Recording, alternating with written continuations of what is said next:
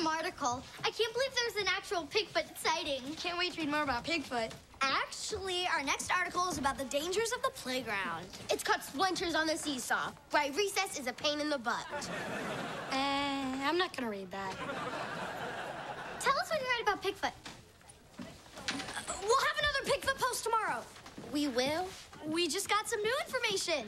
We did? Ooh, what is it? Did you interview him? Did you get him on video? Good breakfast. Crave those crazy squares. Cinnamilk.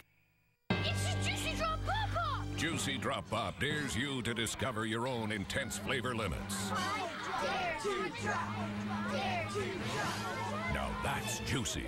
Juicy Drop Pop, hardcore candy, dripping with attitude.